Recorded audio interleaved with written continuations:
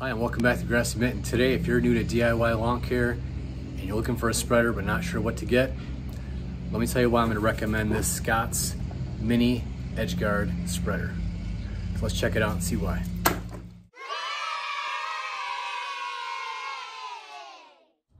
Okay, the first reason why I recommend this because it's inexpensive. I got this for $35 at Home Depot. I've seen it anywhere from 35 to about $44 on Amazon. So as far as the spreader goes, this is one of the least expensive spreaders on the market right now.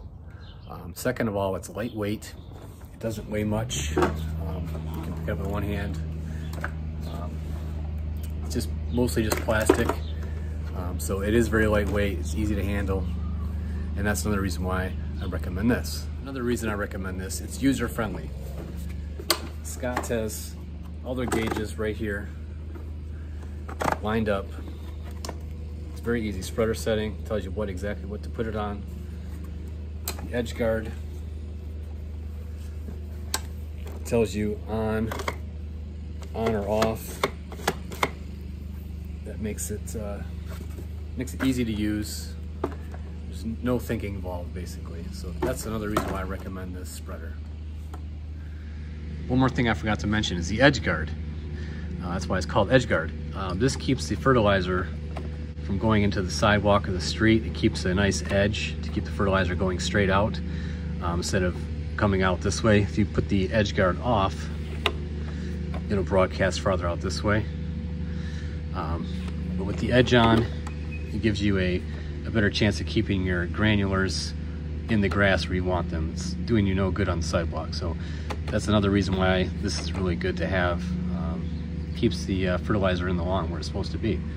So there you go.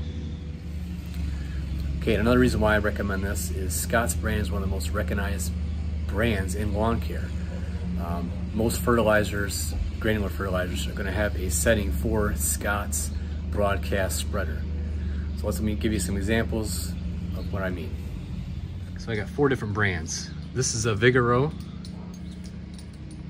Scott's Rotary Broadcast Spreader, Vigoro brand. Jonathan Green, Scott's Rotary Spreader. Milorganite,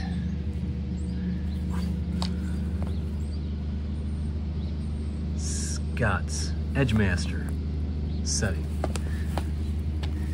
Even an Ace brand fertilizer. Scott's broadcast spreader. And also they have drop spreaders too, but I, I like the broadcast spreaders better than uh, the drop settings. And the last reason why I'm recommending this is you can get this at pretty much any big box store and also on Amazon. This is the last reason why I'm recommending this spreader.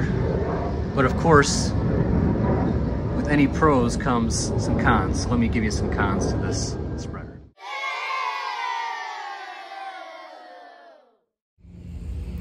Okay, there has to be some cons to this. So, first one, it's not as durable as some of the more expensive uh, spreaders. It's plastic. Plastic breaks over time. It's not gonna last you forever, but it's a good start for you. Um, second of all, if you're wanting to use this to put down rock salt in the wintertime, I do not recommend that. Um, this little spinner here will get, uh, will break if you try to use salt with this. Next thing, if you are taller, this may be awkward. I'm, I'm about five foot eight, and it's, it's good for me, but if you're six foot three or four, this may be a little awkward for you. You may be hunching over to, to do the spreader. And the last kind I have about this, it's a small hopper. So if you have a yard bigger than 5,000 square feet, this may not work for you. You may have to fill it up a couple times. For smaller yards, this is perfect. Yeah, if you have a big yard, I you might want to go with a bigger um, spreader than this.